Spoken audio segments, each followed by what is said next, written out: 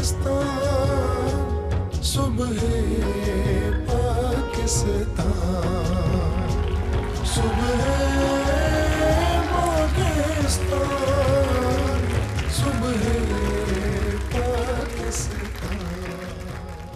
वालेकुम एक मरतबा फिर आपको सुबह पाकिस्तान में खुश आमदेद कहते हैं।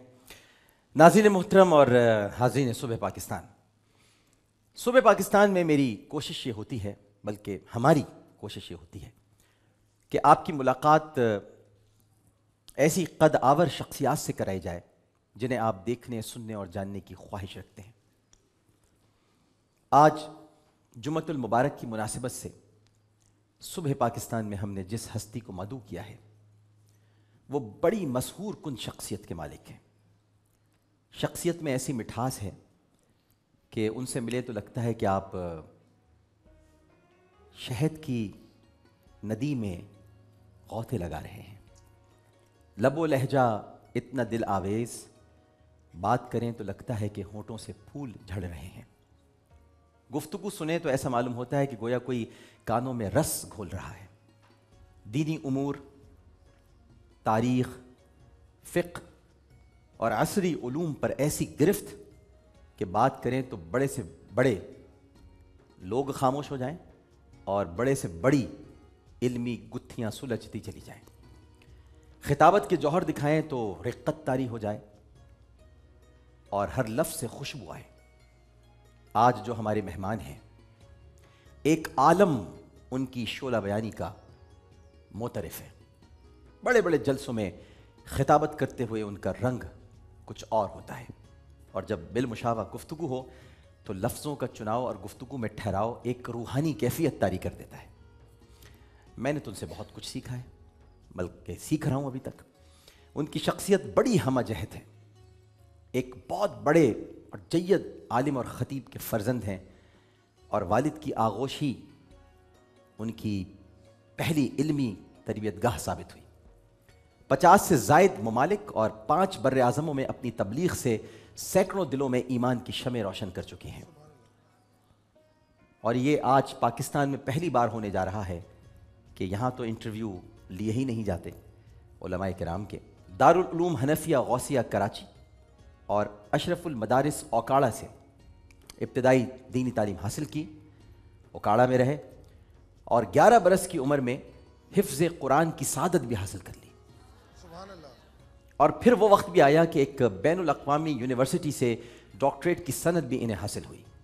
तहरीक ख़त्म नबूवत और तहरीक निज़ाम मुस्तफ़ा सल्ला वसल्लम में अपने वालद ग्रामी के साथ नन्हे सिपाही के तौर पर शिरकत की। उन्नीस सौ चौरासी में दीनी खदमात के फ़रोग के लिए मौलाना उकाड़वी एकेडमी अलआलमी कायम की, जबकि सोल्जर बाज़ार कराची में वाक़ जाम मस्जिद गुलजार हबीब और वालिद ग्रामी के मज़ार की तामीर की सादत भी आपको हासिल हुई। कुछ कुछ आप समझ गए होंगे।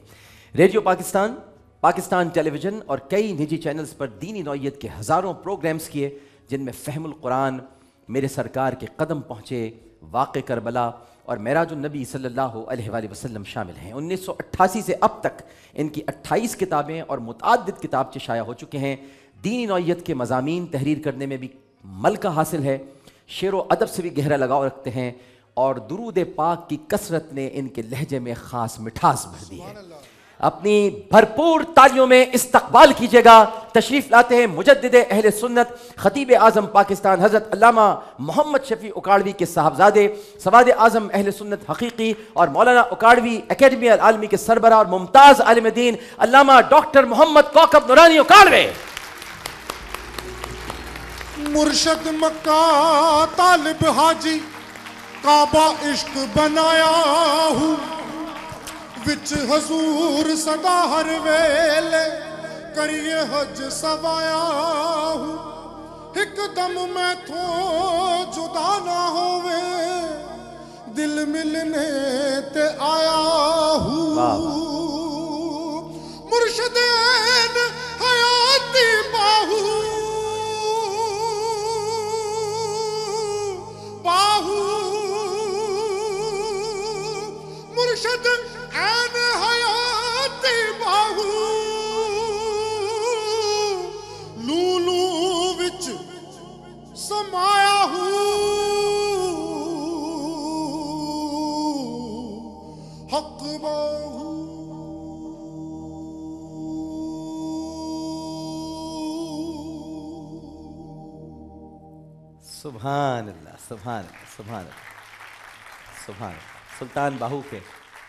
माशाल्लाह खूबसूरत। अशार अस्सलाम वालेकुम। अलैकुम अस्सलाम वरहमतुल्लाहि कैसे हैं आप? मैं दाखिल होने से पहले आपके अल्फाज सुन के सोच रहा था पलट जाऊँ। इस लायक नहीं हूँ आपने बहुत इज़्ज़त दी अल्लाह ताला आपको जजाय खैर अता फरमाए। अल्लामा साहब हम तो कुछ भी नहीं कह पाए। आपके जो इल्मी खिदमात हैं वो तो इतनी ज़्यादा हैं कि अगर हम मुसलसल भी आपके लिए कहते रहें बल्कि आपके लिए आपके वालिद के लिए आपके पूरे ख़ानदान के लिए तो शायद हम हक़ अदा नहीं कर सकेंगे। आपने इतना कुछ किया है सिर्फ़ हमारे लिए नहीं बल्कि सच मानों में मैं कहूँ इस्लाम के लिए तो नहीं कहूँगा क्योंकि आप मुझे पकड़ लेंगे कि मेरे तो कोई खिदमत इस्लाम के लिए नहीं की लेकिन पाकिस्तान के लिए इस पूरे ख़ानदान ने बहुत कुछ किया। सबसे पहले हम अ, अल्लामा साहब के बारे में एक पैकेज देखते हैं और फिर ज़रा आज इनसे कुछ सवाल होंगे। अब हमेशा हमने फ़िक़ी सवालात किए हैं कुछ रहनुमाई हासिल करने की कोशिश की। आज इनके बारे में भी तो कुछ जानेंगे जो लोगों को नहीं पता। लेकिन पहले एक पैकेज देखते या मुस्तफ़ा कहते कहते खुले आँख सल्ले अला कहते कहते को देखकर हमने अल्लाह के कमालात का अंदाज़ा किया कि जिसके रसूल के कमालात का ये आलम है, उसके पैदा करने वाले खालिक मालिक के कमालात का क्या आलम हो? मुजद्दिद मसल के अहल सुन्नत खतीब आज़म पाकिस्तान, हज़रत अल्लामा मोहम्मद शफी उकाड़वी के साहिबजादे सवाद आज़म, अहल सुन्नत हकीकी और मौलाना उकाड़वी अकादमी अल आलमी के सरबरा और मुमताज़ आलिम दीन। अल्लामा डॉक्टर मोहम्मद कौकब नूरानी उकाड़वी का शुमार पाकिस्तान के नामवर खतीबों में होता है जिन्होंने अपने दिल नशीन अंदाज खिताबत से दुनिया भर में बसने वाले करोड़ों अकीदतमंदों के दिलों को मुनवर किया और अपने हुस्न इखलाक और इल्म तरबियत से सैकड़ों दिलों में ईमान का चिराग मुनवर किया। मैं दुनिया की नज़र से इस्लाम को देखूँ या इस्लाम की नज़र से दुनिया को देखूँ? वाह वाह वाह। धीमे और शीरी लबो लहजे के मालिक अल्लामा मोहम्मद कौकब नूरानी उकाड़वी ने 17 अगस्त को बोल्टन मार्केट कराची में वाक़ सुल्तान मेंशन में जन्म लिया और अपने वालिद खतीब आज़म पाकिस्तान हज़रत अल्लामा मोहम्मद शफी उकाड़वी की आगोश उनके लिए पहली इल्मी तरबियत का साबित हुई। बड़े बड़े जलसों में वालिद के साथ शिरकत ने उनमें बला का एतमाद पैदा कर दिया। जिसने आने वाले वक्त में उन्हें खिताबत का शहसवार बनने में मज़बूत बुनियाद फराहम की। बेशक अल्लाह ताला ने मदद फरमाई तुम्हारी बदर में और तुम कमज़ोर थे। दारुल उलूम हनफिया गौसिया कराची और अशरफुल मदारिस उकाड़ा से इब्तदाई दीनी तालीम हासिल की और 11 बरस की उम्र में हिफ्ज कुरान की सादत भी हासिल कर ली। और फिर आला तालीम का सिलसिला दराज होता चला गया और एक बैन अवी यूनिवर्सिटी से डॉक्टरेट की एजाजी सनत भी हासिल की। तहरीक ख़त्म नबूवत और तहरीक निज़ाम मुस्तफ़ा सल्लल्लाहु अलैहि वसल्लम में अपने वालद गिरामी के शाना बशाना नुमाया खिदमात अंजाम दी। कर्नल मोहम्मद खान मुश्ताक अहमद यूसफी, सूफी गुलाम मुस्तफ़ा तबस्सुम और शकील आदिल ज़ादा जैसे नामवर अदीबों की सोहबत मुयसर आई तो उर्दू अदब की चाशनी ने उनके लबो लहजे को निखार अता किया और ज़ोर खिताबत में चार चाँद लग गए। बदर हुनैन हवाजुन वगैरह जितने गजवात हुए, चौरासी जंगें हुई हैं। कितनी? 84 नबी पाक सल्लल्लाहु अलैहि वसल्लम की 10 साल मदनी ज़िंदगी में कितनी जंगें? 84 पीर सैयद मोहम्मद इस्माइल शाह बुखारी अलमारूफ, हज़रत कर्मा वाले रहमतुल्लाह अलैह के दस्ते मुबारक पर नक्शबंदी सिलसिला तरीकत में बैत हुए और तसव्वुफ से गहरे लगाव ने उनकी शख्सियत में एक रूहानी वकार पैदा कर दिया। रेडियो पाकिस्तान पाकिस्तान टेलीविज़न और कई निजी चैनल्स पर दीनी नौयत के चार हज़ार से जायद प्रोग्राम्स किए, जिनमें फैमुल कुरान, मेरे सरकार के कदम पहुँचे वाक़ करबला और मराजुन नबी सल्लल्लाहु अलैहि वसल्लम समेत बेशुमार प्रोग्राम शामिल हैं। अप्रैल 1984 में दीनी खिदमात के फरोग के लिए मौलाना उकाड़वी अकादमी अल आलमी कायम की, जबकि सोल्जर बाज़ार कराची में वाक़ जामा मस्जिद गुलजार हबीब और वालद ग्रामी के मज़ार की तामीर की सादत भी आपको हासिल हुई। कई जबानों पर उबूर रखने वाले अल्लामा कौकब नुरानी उकाड़वी दीन की तबलीग व अशात की गर्ज से अब तक इक्यावन ममालिक के दौरे कर चुके हैं और आपकी तबलीग से सैकड़ों अफराद दायरा इस्लाम में दाखिल हो चुके हैं So think whenever you talk about Allah subhanahu wa ta'ala, keep in mind everything mentioned in Quran and we got proof. तसनीफ तालीफ से भी गहरा शगफ रखते हैं आपकी पहली किताब 1988 में शाया हुई और उसके बाद से अब तक 28 किताबें तहरीर कर चुके हैं, जिनमें अजान और दुरूद शरीफ, इस्लाम की पहली ईद ईद मिलादुन नबी सल्लल्लाहु अलैहि वसल्लम मसला इमामत पीर जी सरकार कर्मा वाले, हक की फतह, मज़ारात और तबरुकात, और उनके फयूजात और वालिदैन रिसालत माब सल्लल्लाहु अलैहि वसल्लम शामिल हैं, जबकि मुल्क के मारूफ अखबारात और जराइद में आपके मजामीन शाया होते हैं।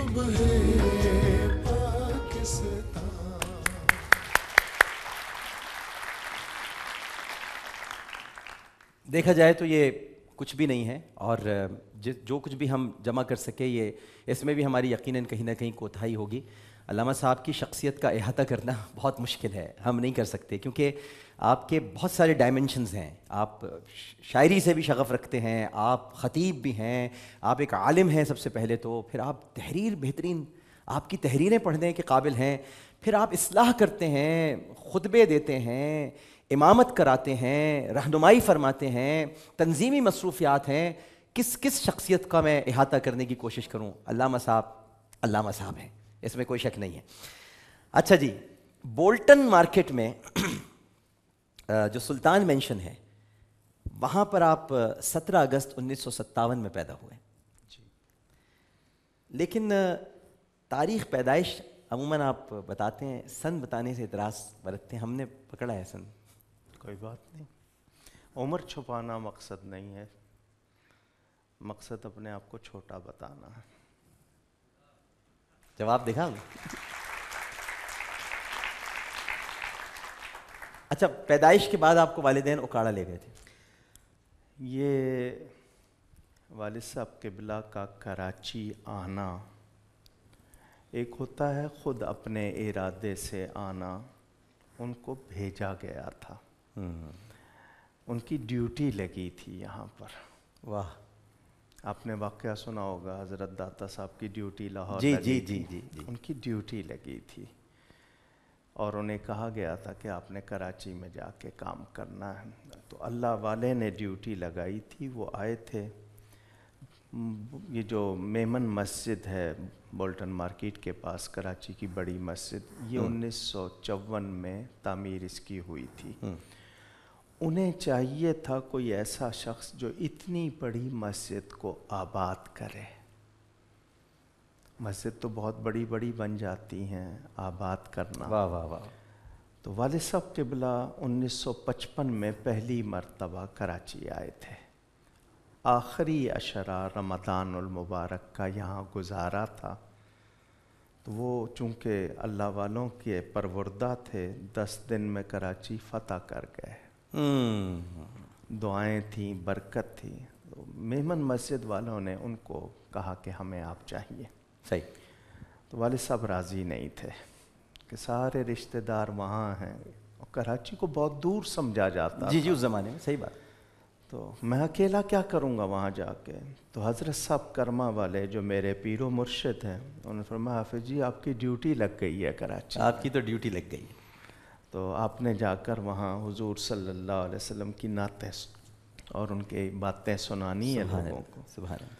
तो वाल साहब आए यहाँ आकर पहला मीलाद शरीफ का जुलूस फिर मजालिस मुहर्रम अहल सुन्नत की तरफ़ से।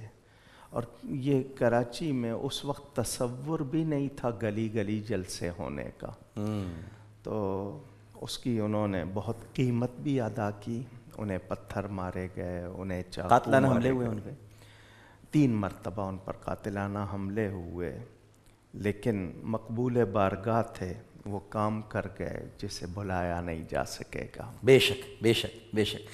आपने आपका जो नाम रखा गया था वो अहमद था। अकीक़े के वक्त हमारे यहाँ ये रवाज है कि अकीक़े के वक्त मोहम्मद या अहमद नाम रखा जाता है। नबी पाक सल्लल्लाहु अलैहि वसल्लम की नस्बत से ताकि उसकी बरक़ात हों। और फिर कौकब नूरानी कैसे हुआ? बड़ी मशहूर हदीस है मेरे प्यारे नबी पाक सल्लल्लाहु अलैहि वसल्लम ने जिब्रील से उनकी उम्र पूछी थी। जी। तो जिब्रील ने जो जवाब दिया था वो ये था कि मैंने एक तारा देखा था अल्लाह के अर्श के पर्दों में। वो सत्तर हज़ार साल के बाद एक मर्तबा चमकता था मैंने उसे बहत्तर हज़ार मरतबा देखा। तो हुजूर सल्लल्लाहु अलैहि वसल्लम ने फरमाया अनाजालिकल कौकब। वो चमकता हुआ तारा मैं ही था। सुभान सुभान तो ये नाम बना मोहम्मद कौकब नूरानी। वाह वाह वाह मोहम्मद कौकब नूरानी। अच्छा सवाल तो बहुत सारे आज अल्लामा साहब से करने हैं और आप लोग भी अगर कोई दिल में सवाल हो वो बिल्कुल कर सकते हैं। लेकिन ये मैं वक्फे में जाने से पहले ये बताऊँ आपको कि हमारे अल्लामा साहब जो हैं वो यमनी शयूख के उस ताजर ख़ानदान से ताल्लुक़ रखते हैं। यमनी शयूख के उस ताजर ख़ानदान से, जो सैदना अबू बकर सिद्दीक़ रदी अल्लाह तहों की बदौलत मुशर्रफ ब इस्लाम हुआ था। और इस ख़ानदान के अफराद बगरज़ तजारत हिंदुस्तान से आए और कुछ वहाँ आबाद हो गए और आपके जो ख़ानदान के बुज़ुर्ग, जो ताजर पेशा थे वो सूफ़ी मनश लोग थे और अलामा साहब का जो ख़ानदान यूँ देखा जाए तो उसकी नस्बत इस तरह से है कि उनको कबूल इस्लाम की तरफ़ कोई लाया तो वो सैदना अबू बकर सिद्दीक रज़ी अल्लाह तो एक वक्फ़ा लेते हैं। वक्फ़े के बाद जब हाज़िर होंगे तो अलामा साहब से भी और बहुत सारे सवाल करते हैं, लेकिन पहले एक वक्फ़ा। असल वालेकुम